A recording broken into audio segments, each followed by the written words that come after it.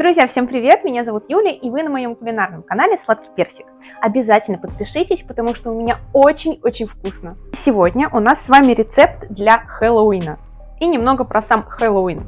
Я знаю, что многие не воспринимают этот праздник, мол, он иностранный, мы его отмечать не будем, но мы в нашей семье относимся к нему чисто как к поводу лишний раз посмеяться и весело провести время. Поэтому и я вам советую тоже так сделать. И готовить мы с вами сегодня будем сахарные кости. Для этого рецепта нам понадобится яйца, точнее белки, сахар и лимонная кислота. Здесь обратите внимание, что точных ингредиентов нет, мы будем пользоваться кухонными весами, потому что нам нужно взять белков ровно в два раза меньше, чем сахара. Сначала нам нужно отделить белок от желтка. Здесь постарайтесь сделать так, чтобы ни капля желтка не попала. Поэтому я буду разбивать яйца в отдельные мисочки и только потом их соединю.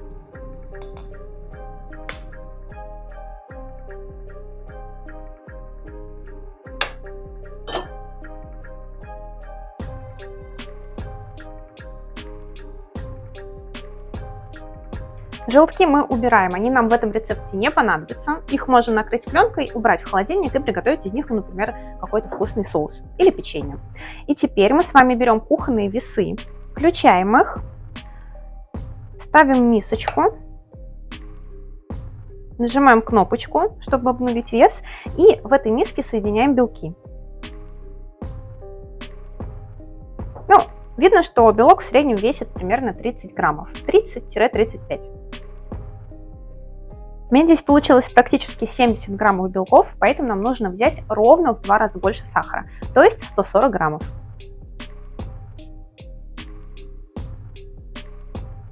Ровно практически 140 граммов сахара.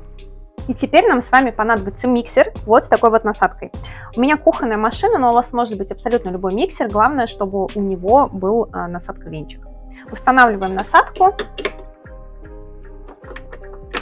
и отправляем в миксер наши белки, пока что без сахара.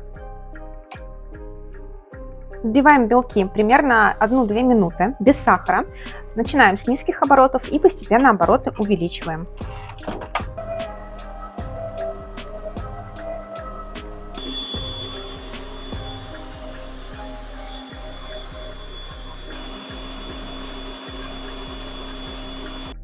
Вот такие белки у нас получились. Мы взбивали их примерно минуту. И теперь мы добавляем сахар. Обратите внимание, что по моему опыту добавлять лучше именно сахар, а не сахарную пудру. Так э, меринга, точнее безе, взбивается намного лучше и быстрее. Снова опускаем миксер и взбиваем все это на максимальной скорости, примерно минут 10. Масса должна стать очень густой и хорошо держать форму.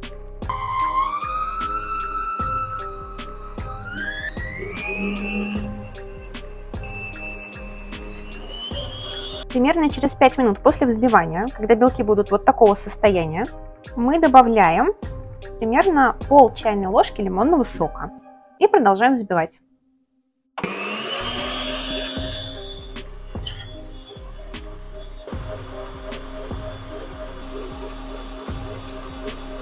Наши белки взбились, они у нас взбивались ровно 10 минут. И посмотрите, какая консистенция должна быть. То есть взбитые белки, они с венчика вообще никак не стекают и даже не сваливаются. Если я переверну, ничего никуда не упадет. Теперь мы берем кулинарный кондитерский мешок, насадку. Если вдруг у вас нет мешка, подойдет какой-нибудь плотный полиэтиленовый пакет, у которого можно просто срезать кончик. Мешок вот так вот устанавливаем в какой-нибудь глубокий стакан и накладываем сюда наши взбитые белки.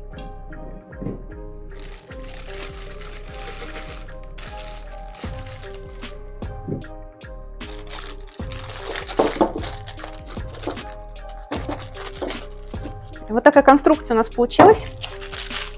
Теперь нам нужно срезать кончик мешка и завязать, верхушку. Я для этого использую вот эту вот резинку для денег.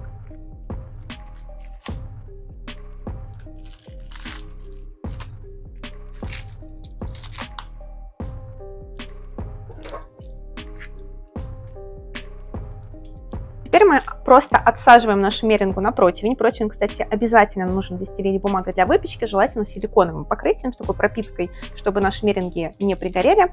И отсаживать мы будем в форме косточек.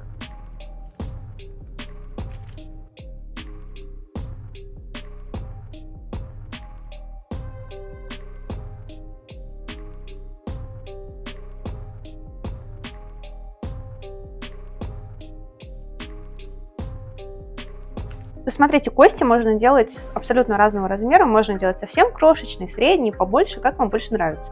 Главное, чтобы они уместились. Вот такие кости у нас получились. Теперь мы ставим противень в духовку, разогретую до 110 градусов и готовим примерно час, а может быть даже полтора. Здесь обратите внимание, что меринга должна не выпекаться, а именно сушиться, поэтому э, лучше в духовке поставить режим конвекции.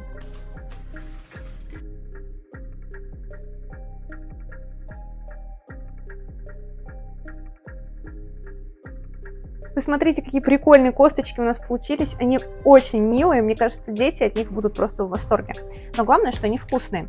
Это классическая меренга или безе. Попробуем. Сладкое сахарное безе. Ничего необычного, но вкусно.